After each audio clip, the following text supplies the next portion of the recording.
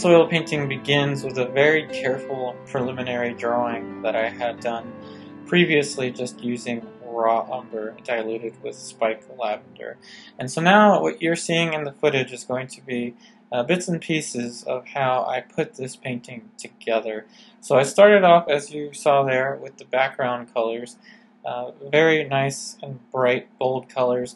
The reason being is that this is a sunset painting, so to have a sunset, you want to have some cool colors reflecting some warm colors. So this painting is being created in a kind of a, a mix between classical sensibility and impressionist color. To combine the two, the very important ingredient is drawing. So it's important that the drawing foundation is as prevalent as possible. So now that I'm going in with the background tones, what I'm looking for is how much light can I get out of these colors. Now for the uh, list of colors that I'm using, please see the description box of this video. Now since this is an abbreviated uh, video, I'm going to be telling you bits and pieces of how this painting was put together. But all in all, this painting took about two weeks to complete and several sittings. Uh, so several sittings in two weeks. It is on the smaller end, being a 12 by 16 inch, but yet still uh, large enough for me to be able to capture all the detail that I captured in this painting. A big part in the process that you're seeing now is actually a transition into smaller brushes right away. So remember, smaller brushes allow you to have more control, but the big disadvantage is that you may end up getting into too many details too quickly. However, it does have an advantage in a smaller painting if you are trying to work in a more detailed fashion.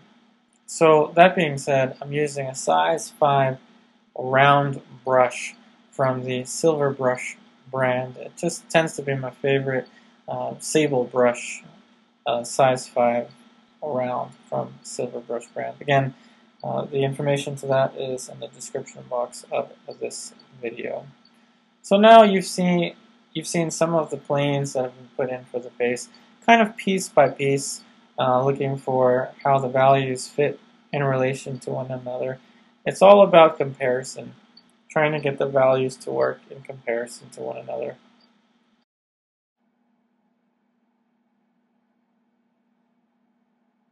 the strategy is to get the orangey glow around the hair, contrasting with those kind of cool colors in the background and the uh, bright warm colors. So remember, it's not just about contrast with the values anymore. It's more about contrast with the values and the uh, colors in relation to one another.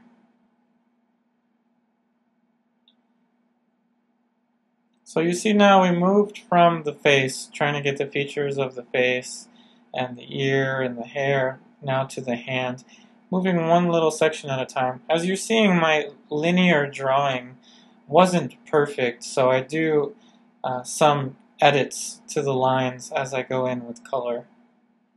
I tend to try to draw as much as I can. I try to get enough information so that when I go into color, I'm able to uh, make more corrections. So now you're seeing more of the glow starting to happen with the the shape between the neck and the hand. There's more of a nice uh, orangey kind of scarlet color that I'm using there. And the shoulder plane area around the uh, around the arms is more neutral. So a lot of Viridian goes into that, a lot of Viridian uh, mixed in with yellow ochre.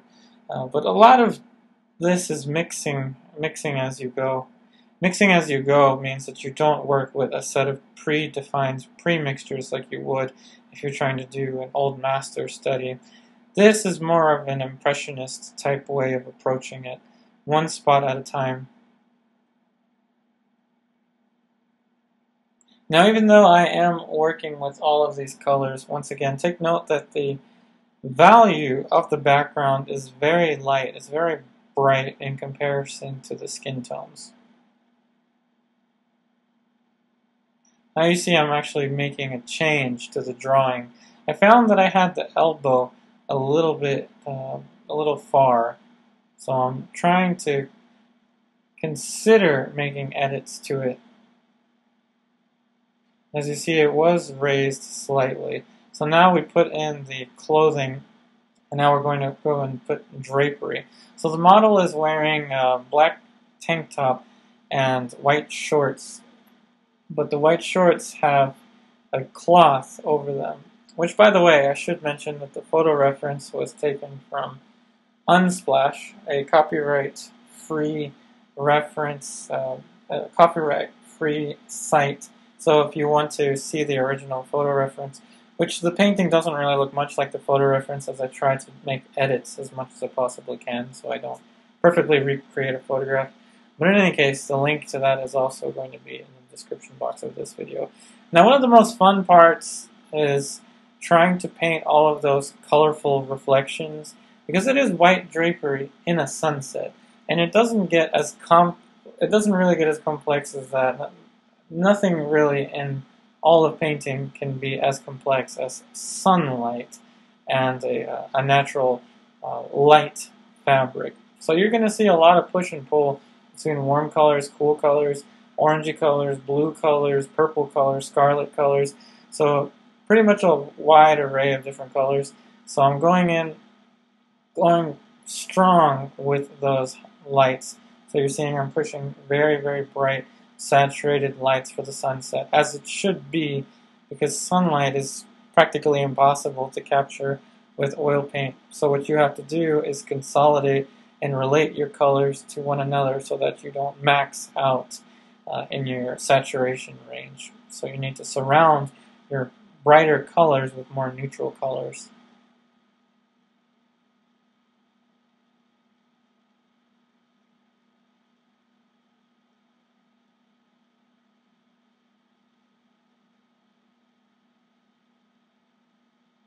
Now it's just developing one little section at a time. For the bright blues, I used a lot of phthalo turquoise for the bright blue colors, cadmium orange for the bright orangey colors, and orange molybdate, which is a Rublev color, for the fiery reddish colors.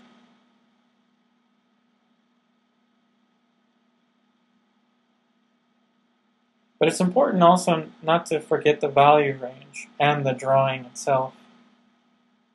And it's also important that the values, though as colorful as the shapes may be, that the values stick within their defined families, meaning that none of the values in the drapery interrupts any of the values in the background, meaning I don't want any of the lights in the drapery to be confused with the bright lights emerging from the background. However, I do want that shimmering light effect to shine behind the drapery.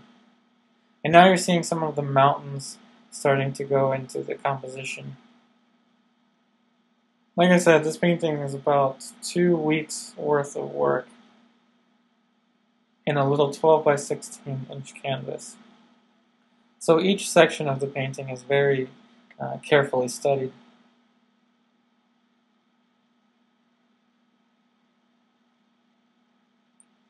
The background of the mountains, you must think about atmospheric perspective. As things get further away, they appear to be more blue, but also they appear to be lighter. So everything in the background has to be cooler than everything in the foreground. It also has to be darker, yet not as dark as the darkest areas of the um, of the portrait. Yet they could match some of the skin tones in terms of value. It's a little tricky that way.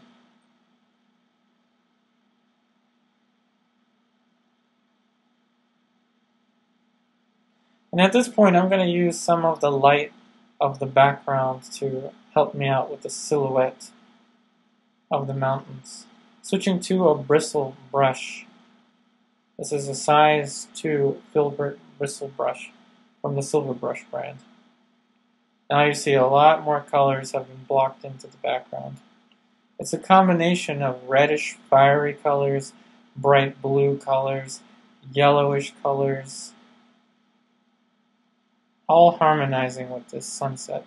Remember, the impact that this painting is supposed to have is in the effect of the light, the, uh, the strength of the light, the light being inspirational as this painting is, aiming to capture the moment of which you find your calling. That's why it's titled Finding Your Calling. It's supposed to bring enlightenment to that very wonderful moment in life where you discover what it is you want to do. So, that being said, the impact of the light, the quality of the drawing, the uh, gauge of the values, the composition, all of this has to be put into a lot of scrutiny. But it's fun. It's a fun meditative process to work this way.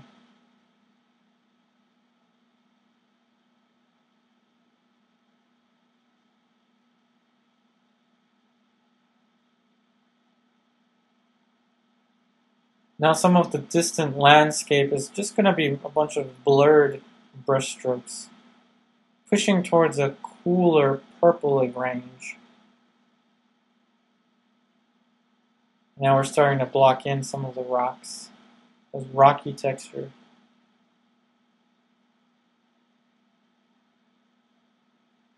Notice the difference between the value range of the rocks and the value range of the distant mountains, along with the colors.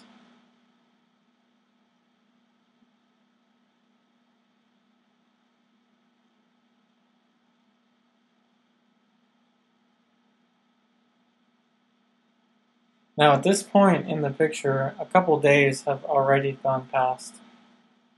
So when you work with materials like the ones that I'm working with, with lead white in particular, the paint does tend to dry overnight.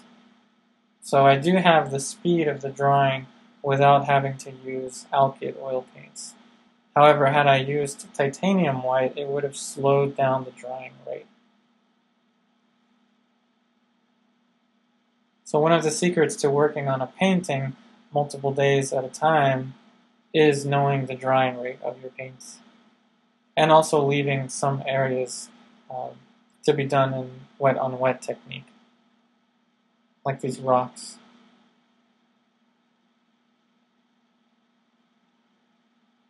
Or just putting in some texture for the rocks. However, there is there isn't a heavy use of impasto in this painting. Some areas around the face, the shoulder, and the rocks have thicker paint, but overall the handling of this painting is kind of medium to low texture.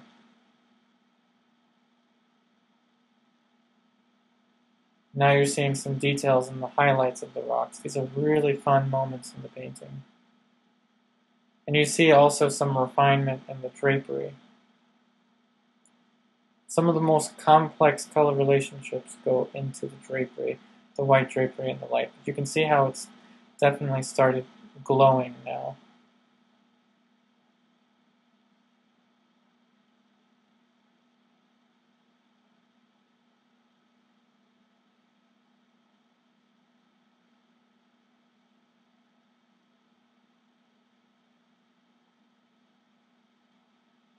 So with a small brush, one little plane at a time, we're adding even more texture.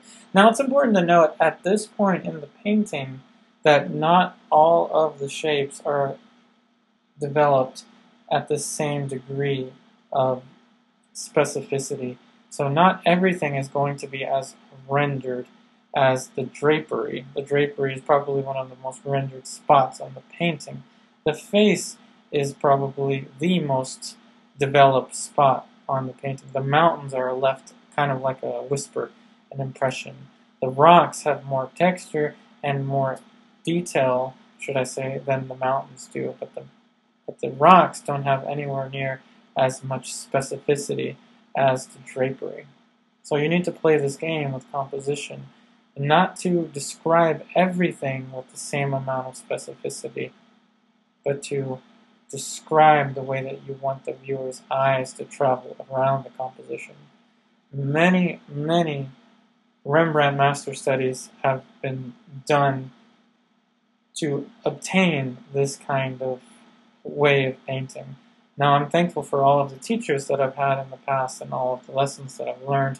However, the biggest lessons that I've learned have been from the master studies that I've done, and you've seen many of them on this YouTube channel. But now you're seeing the master study information being transferred into um, an actual studio painting that I would feel comfortable submitting into art competitions, galleries, and all kinds of um, you know artist career type activities.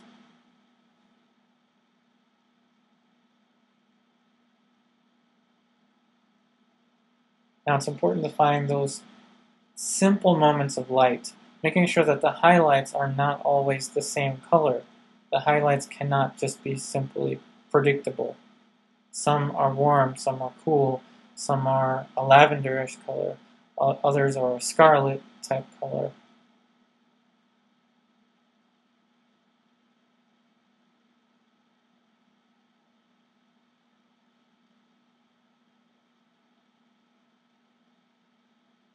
Now you're seeing we were able to obtain sort of an effect of distance. You're seeing some of the rocky textures in the background fade. And that heat of the reflection from the uh, dirt bouncing back into the rock. Make sure that the reflections that you paint are not the same color as the objects that are essentially uh, being reflected. Make sure that you study those color relationships very carefully. Now, obviously, working from a photo reference like I am, these all have to be made up. So this is mostly from imagination uh, where these color relationships are coming from. But a lot of this comes from studying uh, painting from life. And now some nice and fun details in the distant mountains. These are going to be some of the most uh, fun video clips to see.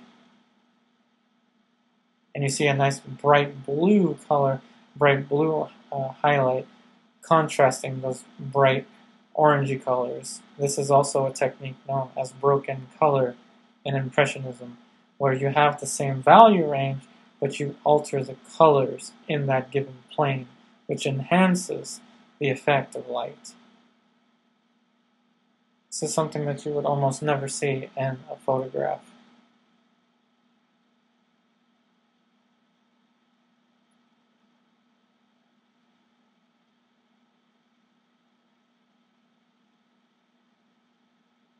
Little distant objects in the background. Just little whispers of detail. Remember, not everything should have the same amount of detail.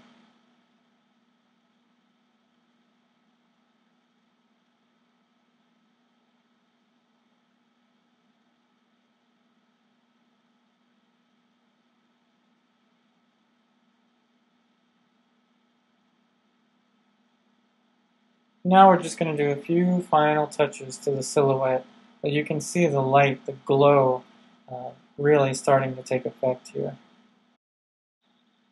And with that being said, I really hope that you enjoyed this YouTube video.